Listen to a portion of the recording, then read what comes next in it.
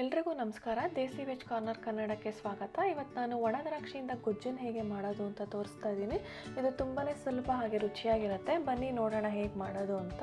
ಇಲ್ಲಿ ಅರ್ಧ ಕಪ್ಪಷ್ಟು ಒಣ ದ್ರಾಕ್ಷಿಯನ್ನು ನಾನು ಒಂದು ಬೌಲ್ಗೆ ಹಾಕಿ ಹದಿನೈದರಿಂದ ಇಪ್ಪತ್ತು ನಿಮಿಷದವರೆಗೂ ಬಿಸಿನೀರಲ್ಲಿ ನೆನೆಸಿಡ್ತಾ ಇದ್ದೀನಿ. ನೀವು ಯಾವುದೇ ಕಲರ್ ಒಣ ದ್ರಾಕ್ಷಿ ಬೇಕಾದ್ರೂ ತೊಗೊಳ್ಬೋದು. ನನ್ನ ಹತ್ರ ಇತ್ತು ಅಂತ ನಾನು ಎರಡು ಕಲರ್ ಬಳಸಿದ್ದೀನಿ. ಹಾಗೆ ಇಲ್ಲಿ ಮಸಾಲೆ ಪದಾರ್ಥಗಳನ್ನ ಹುರ್ಕೋಬೇಕು. ಅದಕ್ಕೆ ನಾನು ಒಂದು ಪ್ಯಾನ್ಗೆ ಒಂದೂವರೆ ಟೇಬಲ್ ಸ್ಪೂನಷ್ಟು ಉದ್ದಿನ ಬೇಳೆ ಹಾಕಿ ಘಮ ಬರೋವರೆಗೂ ಹುರಿತಾ ಇದ್ದೀನಿ. ಹೊಂಬಣ್ಣಕ್ಕೆ ಬರೋವರೆಗೂ ಹುರ್ಕೊಂಡ್ರೆ ಸಾಕು.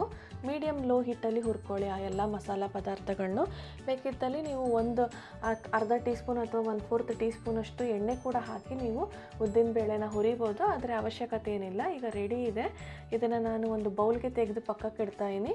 ಎಲ್ಲ ಮಸಾಲ ಪದಾರ್ಥಗಳನ್ನು ಚೆನ್ನಾಗಿ ಆರಕ್ಕೆ ಬಿಡಬೇಕು. ಹಾಗೆ ಇದಕ್ಕೆ ನಾನು ಒನ್ ಟೇಬಲ್ ಸ್ಪೂನಷ್ಟು ಬಿಳಿ ಎಳ್ಳು, ಹಾಗೆ ಒನ್ ಫೋರ್ತ್ ಟೀ ಸ್ಪೂನಷ್ಟು ಮೆಂತ್ಯ ಕಾಳುಗಳನ್ನ ಕೂಡ ಹಾಕಿ ನಾನು ಒಂದರಿಂದ ಎರಡು ನಿಮಿಷದಷ್ಟು ಹುರ್ಕೊಳ್ಳೋಣ. ಎಲ್ಲನೂ ಮಸಾಲ ಪದಾರ್ಥಗಳು ಚೆನ್ನಾಗಿ ಆರಿದ ಮೇಲೆ ಮಿಕ್ಸಿ ಮಾಡ್ಕೊಳ್ಳಿ. ಆವಾಗ ನಿಮಗೆ ಬೇಗ ಮಿಕ್ಸಿ ಸಿಡಿಯೋದಾಗಲಿ ಅಥವಾ ಬಿಸಿ ಬರೋದಾಗಲಿ ಆಗೋದಿಲ್ಲ. ಸೊ, ಪದಾರ್ಥ ಇದು ರೆಡಿ ಇದೆ. ನಾನು ಎತ್ತಿ ಪಕ್ಕಕ್ಕೆ ಇಟ್ಕೋತಾ ಇದ್ದೀನಿ ಇವಾಗ ಇದನ್ನು ಕೂಡ. ಹಾಗೆ ಇಲ್ಲಿ ನಾನು ಇದು ಒಂದು ತರ್ಡ್ ಕಪ್ಪಷ್ಟು ಒಣ ಕೊಬ್ಬರಿ ತುರಿ ಕೂಡ ಹಾಕೋತಾ ಇದ್ದೀನಿ. ನೀವು ಬೇಕಿದ್ರೆ ಹಸಿ ಕೊಬ್ಬರಿ ಕೂಡ ಬಳಸ್ಕೋಬೋದು. ಹಸಿ ಕೊಬ್ಬರಿ ಹಾಕಿದಷ್ಟು ನೀವು ಒಂದೇ ದಿನಕ್ಕೆ ಬಳಸಬೇಕು. ಅದು ಬೇಸಿಗೆಗಾಲ ಆಗಿರೋದ್ರಿಂದ ತುಂಬ ದಿನ ಇಟ್ಕೊಳಕ್ಕಾಗಲ್ಲ. ಒಣ ಕೊಬ್ಬರಿ ಆಗಿರೋದ್ರಿಂದ ನೀವು ಫ್ರಿಜ್ಜನ್ನು ಒಂದು ಎರಡರಿಂದ ಮೂರು ದಿನ ಇಟ್ಕೊಳ್ಬೋದು. ಇದನ್ನು ಕೂಡ ಹೊಂಬಣ್ಣ ಬರೋವರೆಗೂ ಹುರಿದು ನಾನು ಇದನ್ನು ಪಕ್ಕಕ್ಕೆ ಇಟ್ಕೋತಾ ಇದ್ದೀನಿ. ಈಗ ನಾನು ಇದಕ್ಕೆ ಒಂದು ಟೀ ಸ್ಪೂನಷ್ಟು ಕೊಬ್ಬರಿ ಎಣ್ಣೆ ಬಳಸಿ, ಇದಕ್ಕೆ ನಾನು ಈಗ ನಾಲ್ಕರಿಂದ ಐದು ಕಾಶ್ಮೀರಿ ವಾ, ರೆಡ್ ಚಿಲ್ಲೀಸ್ ಅಂದರೆ ಒಣಮೆಣಸಿನ್ಕಾಯಿನ ಹಾಕಿ, ಸ್ವಲ್ಪ ಅದು ದಪ್ಪಗಾಗೋಷ್ಟು ಹುರ್ಕೋತಾ ಇದೀನಿ. ನೀವು ಇದಕ್ಕೆ ಬ್ಯಾಡಗಿ ಮೆಣಸಿನ್ಕಾಯಿನೂ ಬಳಸ್ಕೊಂಡು ಹಾಕೋದ್ರಿಂದ ಗೊಜ್ಜು ಒಳ್ಳೆ ಕಲರ್ ಬರುತ್ತೆ. ಸೊ ಖಾರ ಕೂಡ ಕಮ್ಮಿ ಇರುತ್ತೆ. ನಿಮಗೆ ಯಾವ ರೀತಿ ಬೇಕಾಗುತ್ತೋ ನೀವು ಆ ರೀತಿ ಮಾಡ್ಕೋಬೋದು. ಗೊಜ್ಜು ಅಂದರೆ ಸಾಮಾನ್ಯವಾಗಿ ಸ್ವಲ್ಪ ಸಿಹಿ ಮೇಲೆ ಇರುತ್ತೆ.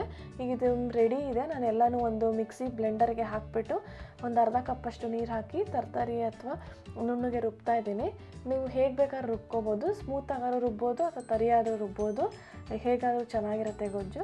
ಈಗ ನಾನು ಇದಕ್ಕೆ ಮತ್ತೆ ಇನ್ನೂ ಒಂದು ಪ್ಯಾನ್ಗೆ ಟೂ ಟೀ ಸ್ಪೂನಷ್ಟು ಕೊಬ್ಬರಿ ಎಣ್ಣೆನ ಹಾಕಿ ನಾನು ಇಲ್ಲಿ ಸೀಸ್ನಿಂಗ್ನ ಮಾಡ್ತಾಯಿದ್ದೀನಿ ಅಂದರೆ ಒಣ ಒಂದು ಟೀ ಸ್ಪೂನಷ್ಟು ಮಸ್ಟರ್ಡ್ ಸೀಡ್ಸು ಮತ್ತು ಈ ಒಗ್ಗರಣೆಗೆ ನಾನು ಇಲ್ಲಿ ಯಾವುದೇ ರೀತಿ ಬೇರೆ ಪದಾರ್ಥಗಳನ್ನ ಬಳಸ್ತಾ ಇಲ್ಲ. ಅಂದರೆ ಉದ್ದಿನಬೇಳೆ ಆಗಲಿ ಕಡಲೆಬೇಳೆ ಆಗಲಿ ಅವಶ್ಯಕತೆ ಇಲ್ಲ ಅಂತ ಅಷ್ಟೇ. ನೀವು ಬೇಕಿದ್ದಲ್ಲಿ ಕೂಡ ಹಾಕ್ಕೊಳ್ಬೋದು ತೊಂದರೆ ಏನೂ ಇಲ್ಲ.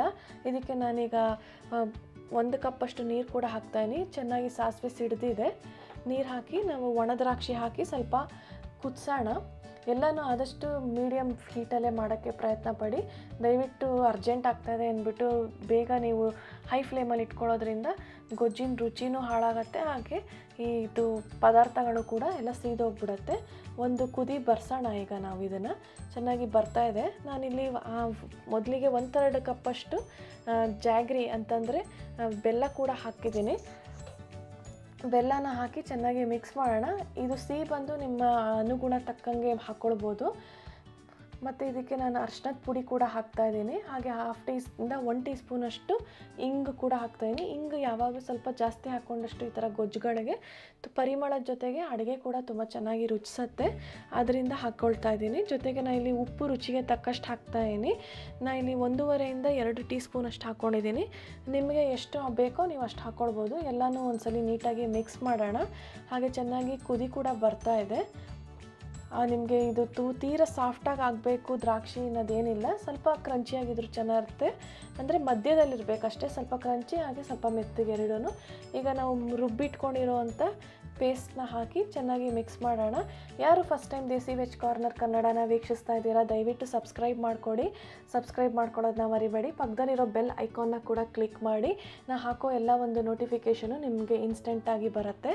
ಈಗ ನಾನು ಇದಕ್ಕೆ ಒಂದು ತರ್ಡ್ ಕಪ್ಪಷ್ಟು ಟ್ಯಾಮರಿನ್ ರಸ ಕೂಡ ಹಾಕ್ತಾಯಿನಿ ನಾನಿಲ್ಲಿ ಕ್ಯೂಬ್ ಆಗಿ ಮಾಡಿಬಿಟ್ಟು ನಾನು ಇಟ್ಕೊಂಡಿದ್ದೀನಿ ಅದರಿಂದ ಅದು ನಿಮಗೆ ಆ ಥರ ಕ್ಯೂಬಲ್ಲಿ ಕಾಣಿಸ್ತಾ ಇದೆ ಹುಣಸೆಹಣ್ಣು ರಸನ. ಇದೆಲ್ಲ ಎಲ್ಲ ಪದಾರ್ಥಗಳನ್ನ ಹಾಕಿ ಗೊಜ್ಜು ಒಂದು ಐದರಿಂದ ಹತ್ತು ನಿಮಿಷ ಸ್ವಲ್ಪ ಗಟ್ಟಿಯಾಗೋವರೆಗೂ ಕುದಿಸಿದ್ರೆ ಸಾಕು. ತುಂಬ ಹೊತ್ತು ಕುದಿಬೇಕು ಅನ್ನೋದೇನಿಲ್ಲ. ಈಗ ಒಣದ್ರಾಕ್ಷಿ ಒಣ ಗೊಜ್ಜು ರೆಡಿ ಇದೆ. ಇದು ತುಂಬಾ ಚೆನ್ನಾಗಿರುತ್ತೆ. ನೀವು ಸಾಮಾನ್ಯ ಇದನ್ನು ಫಂಕ್ಷನ್ಗಳಲ್ಲಿ ಅಥವಾ ಮದುವೆ ಮನೆಗಳಲ್ಲಿ ತಿಂದಿರ್ಬೋದು. ಇದು ಪೂರಿ, ಚಪಾತಿ, ಅನ್ನ ಎಲ್ಲದ್ರ ಜೊತೆ ಸವಿಯೋಕ್ಕೆ ತುಂಬಾ ಚೆನ್ನಾಗಿರುತ್ತೆ. ಒಂದ್ಸಲಿ ಮಾಡಿ ನೋಡಿ ಹೇಗಾಯಿತು ಅನ್ನೋದು ನನಗೆ ಕಮೆಂಟ್ ಸೆಕ್ಷನಲ್ಲಿ ತಿಳಿಸ್ಕೊಡಿ. ಈ ವಿಡಿಯೋ ಇಷ್ಟ ಆಗಿದೆ ಅಂತ ಭಾವಿಸ್ಕೊಂಡಿದ್ದೀನಿ. ಪ್ಲೀಸ್ ಲೈಕ್ ಆ್ಯಂಡ್ ಸಪೋರ್ಟ್ ಮಾಡಿ.